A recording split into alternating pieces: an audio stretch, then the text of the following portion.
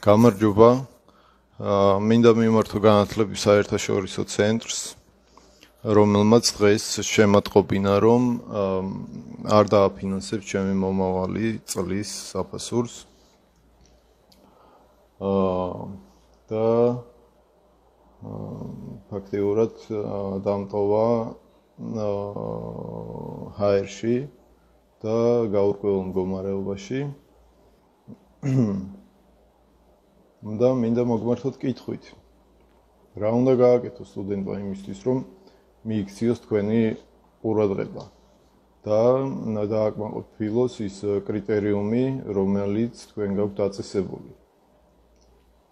რა უნდა გავაკეთო იმაზე მეტი, რაც აქამდე გავაკეთე და რა გამოწვევებიც მივიღე და რა ბარიერებიც გადავლახე.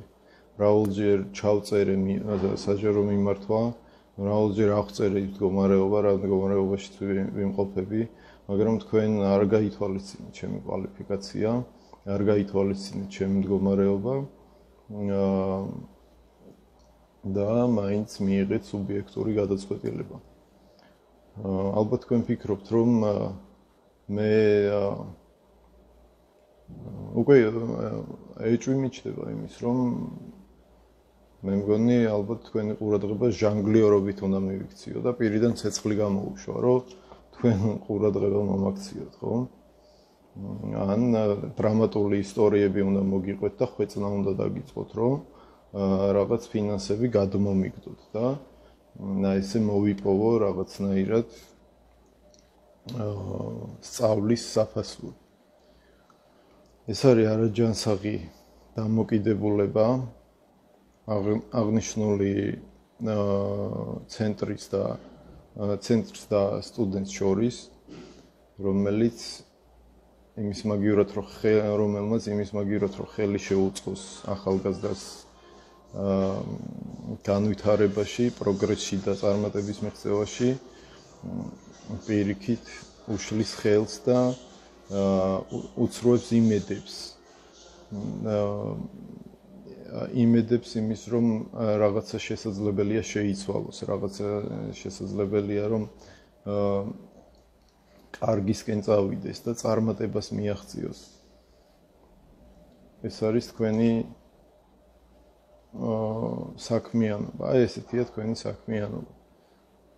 თქვენ ხელს უშლით ახალგაზრდებს. უკვე მეორეჯერ გამიცრუეთ იმედი აა და მეორეჯერ დამტოვეთ პედის ანაბარა და რა უბრალოდ ის არის რომ ვითხოვს სწავლის დაფინანსებას ხელს შეწყობას იმისთვის რომ მივახციო წარმატებას და ეს წარმატება ჩამოვიტანო ისევ ჩემ ქვეყანაში.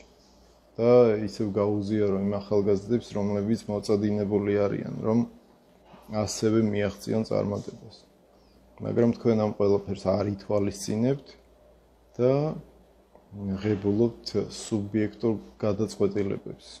მე რაც ჩამოსული ვარ შუადღის შუქი არ მინახავს. იმიტომ რომ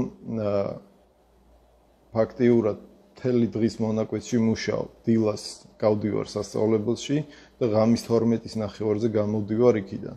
აბსოლუტურ დროს ვიყენებ, რასაც იძლევა სასწავლებელი მუშაობისთვის.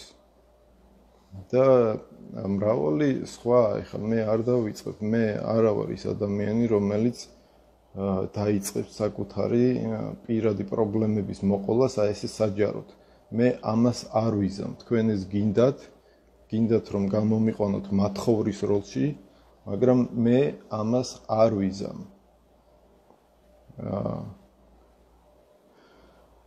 ამიტომ უბრალოდ მე ვითხოვ დადგეს საკითხი თქვენი კომპეტენტურობის თქვენი საქმიანობის რას ემსახურებით, ვის ემსახურებით, როგორ ღებულობთ ამ გადაწყვეტილებებს და რა კრიტერიუმით არჩევთ ამ კანდიდატებს, ამ სტუდენტებს იმისთვის, რომ თქვენ დააფინანსოთ.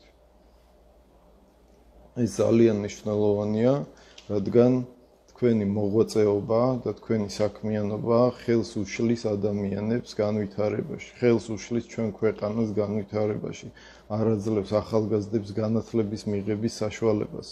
ვინაიდან თქვენ მრავალჯერ ხართ ნეპოტიზმში შემჩნეული და ხართ ბიუროკრატიული ორგანო რომელიც არ გამოირჩევა კომპეტენტურობით და პროფესიონალიზმით.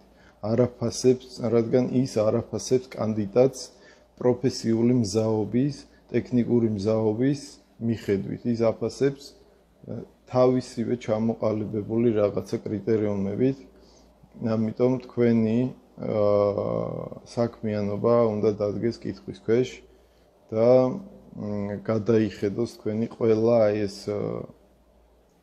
მიმართულება, ყველა ეს დაფინანსებული თუ არ დაფინანსებული კანდიდატი და აი ეს სამუშაო პროცესი, რომელსაც თქვენ ატარებთ ამ რაღაცა უაზრო კანტორაში, რომელიც თქვენ გაქვთ ჩამოყალიბებული.